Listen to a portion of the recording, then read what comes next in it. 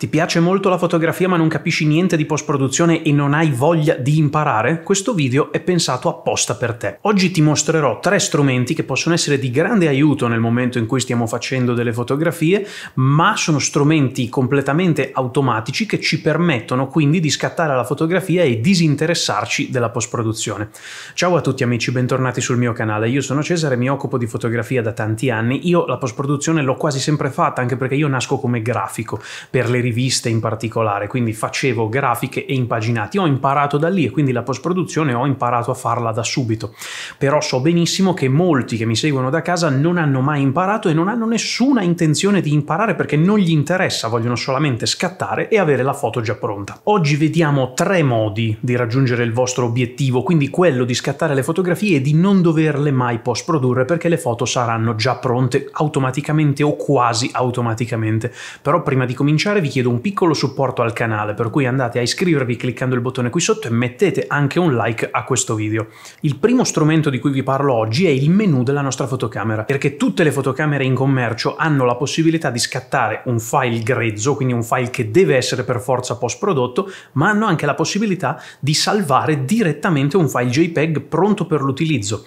Ora, nel momento in cui noi andiamo dentro nel nostro menu, possiamo dire alla macchina come lo vogliamo questo JPEG. Gli gli possiamo dire se lo vogliamo più grande o più piccolo, se vogliamo che salvi più o meno informazioni, gli possiamo dire che profilo colore dobbiamo impostare e gli possiamo dire come devono comportarsi i colori, assegnando un profilo colore e uno spazio colore. In questo caso noi non vogliamo imparare a fare la posta e quindi la prima cosa che vi consiglio di fare è di impostare lo spazio colore sRGB. È inutile impostare Adobe RGB 1998 che è uno spazio più grande che servirebbe se volessimo andare a fare dei ritocchi occhi, ma nel momento in cui vogliamo semplicemente salvare la foto e condividerla sui social è molto meglio salvare in sRGB. Piccola parentesi, se vogliamo stamparle invece è meglio Adobe RGB, ma anche quello è un caso raro ormai secondo me, non stampa quasi più nessuno. Ditemi nei commenti se invece siete persone che ancora stampano le vostre fotografie. Oltre allo spazio colore possiamo andare a impostare anche dei profili. Abbiamo dei profili già salvati sulla macchina,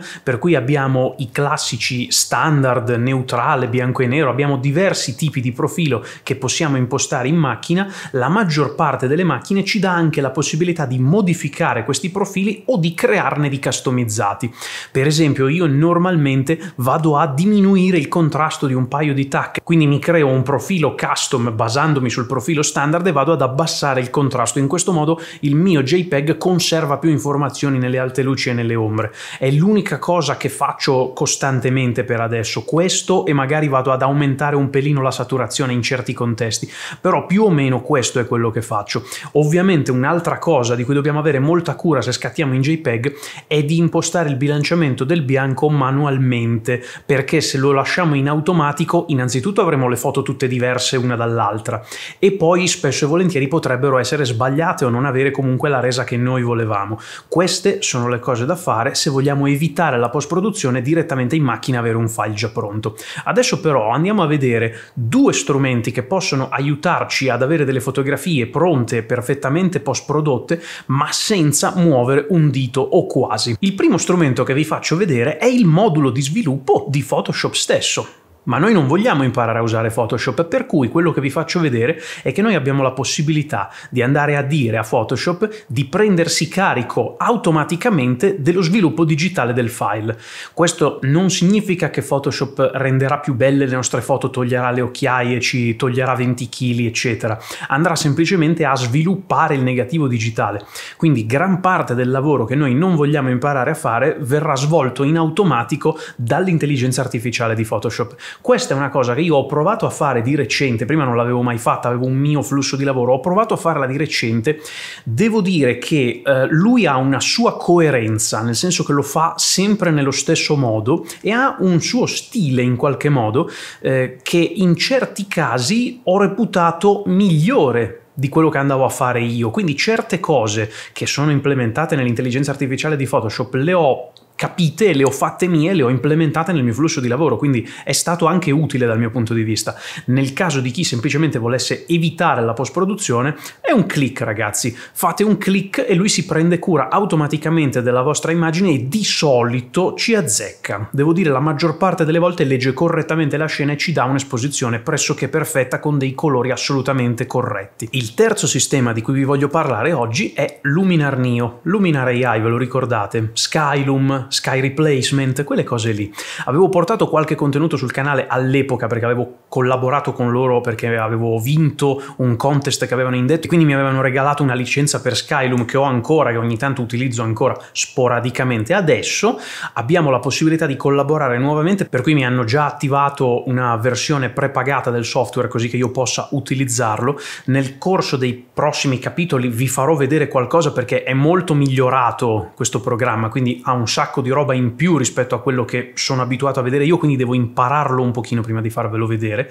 Però la cosa bella di Luminar Neo è che ha un sacco di preset con cui possiamo andare a fare delle cose in automatico sulle nostre fotografie. Quindi nel momento in cui noi importiamo delle fotografie abbiamo la possibilità di scegliere dei preset che devo dire sono fatti maledettamente bene e si adattano bene alla fotografia che gli stiamo dando in pasto. E questo secondo me in moltissimi casi eh, può rendere la nostra post-produzione completamente inutile perché noi andiamo semplicemente dentro, applichiamo il nostro preset, possiamo anche salvarci un preset nostro con cose che abbiamo modificato, magari troviamo un preset che è quasi perfetto ma spostiamo spostiamo una robina e ci salviamo un nuovo preset, dopodiché andiamo ad applicarlo su tutte le nuove immagini che gli diamo in pasto.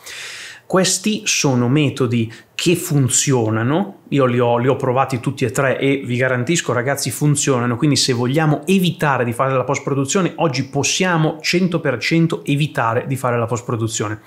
Le nostre foto saranno uguali rispetto che se le avessimo post-prodotte? Assolutamente no per almeno due motivi. Il primo motivo è che se le avessimo veramente post prodotte avremmo potuto ottenere qualcosa di più o qualcosa di meno a seconda delle nostre abilità. Il secondo motivo è che i metodi automatici fanno sempre la stessa cosa più o meno, quindi la post-produzione sarà sempre simile, sarà difficile introdurre qualcosa di creativo, perché eh, le intelligenze artificiali fanno uno sviluppo base, bello, fatto bene, corretto, però non sono ancora molto creative da questo punto di vista, quindi fanno sempre la stessa cosa. Vi consiglio questi tre metodi, ciò nonostante, perché se siete persone che non vogliono imparare a fare la post-produzione, se non volete imparare vuol dire che non siete capaci. A questo punto, siccome la curva di apprendimento per diventare bravi a fare post-produzione con Photoshop o altri software è abbastanza lunga, ci sono ottime probabilità che facendolo fare in automatico a un'intelligenza artificiale o alla macchina otteniate ora dei risultati molto migliori di quelli che otterreste da soli. Attenzione, questo vi impedisce di imparare perché non state imparando, state delegando alla macchina. Di questo bisogna essere consci, non state imparando niente, state solamente delegando alla macchina, quindi non imparerete mai facendo così. Però oggi, se avete l'esigenza oggi di fare un minimo di post su un file, oggi questi sistemi vi mettono in grado di cavarvela con un'immagine che sarà più che accettabile, non farete brutta figura. Quindi questo è il motivo per cui vi porto questo contenuto. Poi sapete come la penso, io la post preferisco farla anche quando mi avvalgo di sistemi di intelligenza artificiale per svolgere dei compiti al posto mio, vado comunque a controllare e a muovere qualcosina dopo perché non mi va mai bene 100% quello che mi trovo già fatto. Io ho un mio stile, un mio flusso di lavoro e quindi vado poi poi a metterci le mani.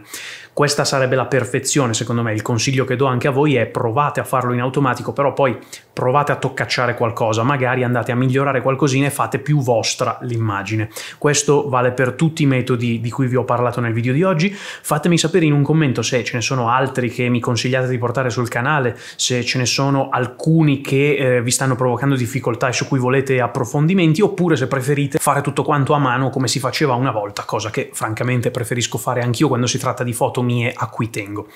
Signori, io non mi dilungo, vi ricordo però di iscrivervi al canale, vi ringrazio come sempre di aver passato un po' del vostro tempo con me e vi do appuntamento al prossimo video.